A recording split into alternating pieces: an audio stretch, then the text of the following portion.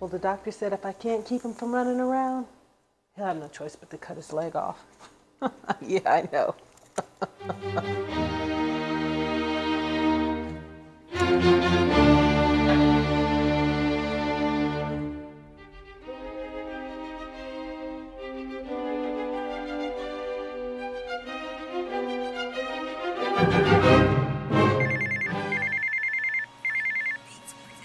Yeah, we've been a party. Man.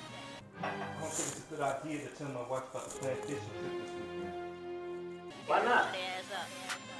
We've been planning this for All months. them hoes. Fuck. I just heard her on the phone saying she's gonna get my leg cut off if I don't stay at home. Man, you tripping. Oh, look. they know Nobody what it can cut off your leg. Nah, man, she's serious. You and I went to the game last weekend, hung out with Brad and the crew on Monday. How you forgot about our anniversary last month? The wedding anniversary? Shit, you might be right. Right about what? Getting my leg cut off? Ah, Man, I knew she was mad about me forgetting about our anniversary.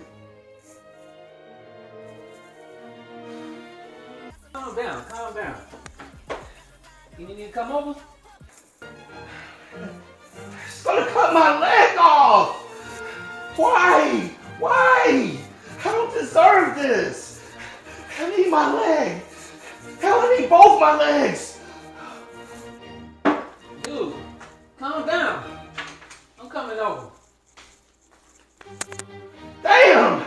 Damn! Damn! She's gonna do it tonight! Baby, what's wrong? Why are you screaming?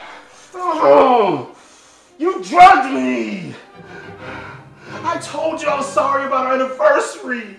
And you said it was okay, but it's not okay! You're gonna get my leg cut off? What are you talking about? I was talking about the dog. The vet said if his leg didn't heal, he'll have no choice but to cut it off.